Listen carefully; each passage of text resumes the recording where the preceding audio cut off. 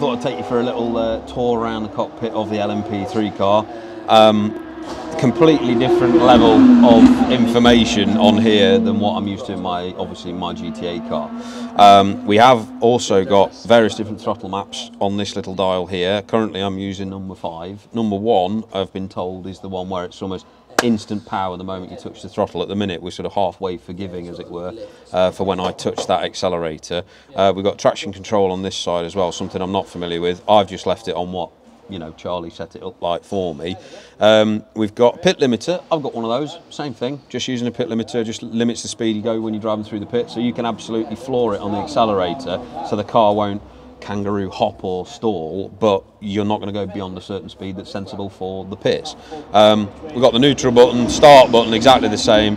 We've actually got a page button on here where we can see various different bits of information if I want to as I'm driving and different setups, which is actually pretty amazing and have a little LED uh, LCD screen in front of you.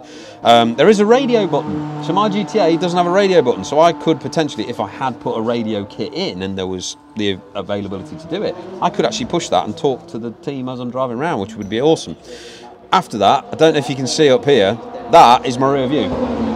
That is the rear view of what's behind me, and that's from a camera mounted just on the rear of the car so that's actually, so it's just mounted on the rear of the car. That's not like a mirror. That is just because there's obviously you can't see behind. There's no rear window or anything like that.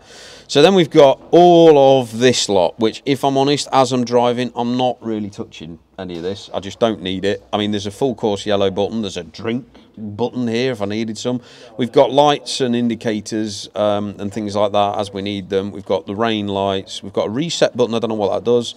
We've got e-pass. Don't know what that does ignition and master um, switch. I think that's pretty self-explanatory. Uh, and then we've got an emergency fire system button just here, which I won't press. Interestingly, there's a tiny little button right on the top here. I don't know if you can see that or zoom in on that one. That is what I press when I come into the pits and turn the car off. Um, so yeah, and then the other thing that we've got, now when this door is closed, you can just see it on the left-hand side here, we've got this sort of head brace, as it were. And that basically, if my head starts wobbling about too much, that actually is my sort of rest and I can lean my head either side on it. But I've also got one on this side. But as you can imagine, if there was a crash and I couldn't get out that side because I'd put it in the barrier that side, I'd need to get out that way. So what I do is I push that and this pings open, which allows me to run out that way if I ever need to. So yeah, a little bit different. It looks like this is wide enough for a two-seater, but there is absolutely no way that it is. Um, I can't imagine another human being be able to fit in this space. It's just, there's no way. Um, so yeah, that takes you through pretty much most of the stuff I'm aware of now that I've just done a few laps in the car.